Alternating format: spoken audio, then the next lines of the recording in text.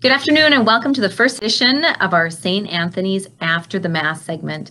We're excited to bring you this new opportunity to learn about your faith and to grow in your faith. Father Courtright often gets questions after Mass about different parts of the Mass, about different things that have happened or why certain things are the way that they are in the Bible or just in the Catholic Church. So we thought this would be a great opportunity, a great way for Father to answer those questions and just connect with our parishioners of St. Anthony's. So without further ado, I'm going to introduce to you our own Father Courtright, who's going to talk a little bit about something that he was asked after last week's Mass. Thank you, April. It's a great pleasure. Let me be brief. I forget which of the many questions that I was pressed with I was going to talk about. About how you, as a servant of God, are oftentimes blessed. So remember our readings from last Sunday? Weren't they beautiful? In that first reading from the Old Testament, that a woman of great means took care of the prophet uh, Elisha. And when he was in town, she'd have dinner for him. And then she said to her husband, you know, we should make something special for him. Let's get put a room on the roof, a bed, a lamp, a stand, and so forth, a chair, and then he can read and sleep. And, and so they did that. And then in the gospel, remember that Jesus said that whoever gives uh, a gift to a prophet, because he's a prophet, they will receive a prophet's reward. Whoever gives a gift to a holy man, because he's a holy man, will receive a holy man's reward, and so forth. And you'll remember I mentioned briefly in my homily about how I think that these readings have had such a great impact on the life of the church. And in my own life as a priest, how I benefit from that in the sense that people are so good, especially here at St. Anthony's. As I mentioned as a priest, I never lack for anything people's graciousness and goodness uh, are always so good to me. And like I had mentioned, Father Paul Raj, when his sister had died and needed uh, like $1,500 for a flight to go home to India.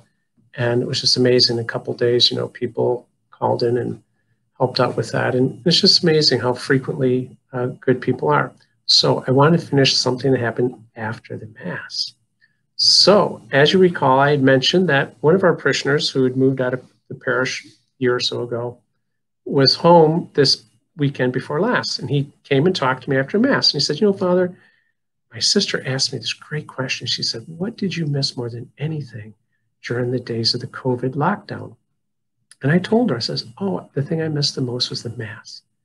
She was surprised. And she said, Oh, well, if you wanted to pray, you could just go out in the backyard and, you know, spend time with nature and communing with God. And he says, I know, I do that all the time. He says, but it's just not the same. I didn't get to receive Jesus' precious body and blood. And then, like, especially going to confession, which I really miss. It's like, you know, it's about the sacraments. It's about that contact, that intimate, up close physical contact that we have to receive our Lord in a real way. And so here's the after the Mass story.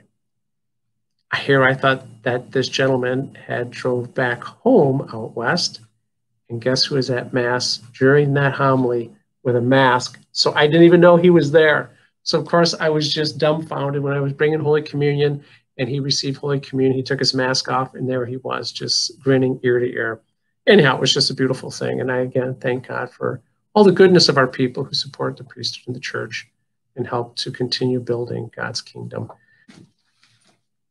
Hello. I'm the religious ed coordinator here at St. Anthony's. And I just wanted to, um, just as a reminder, we're not holding VBS here this summer, unfortunately.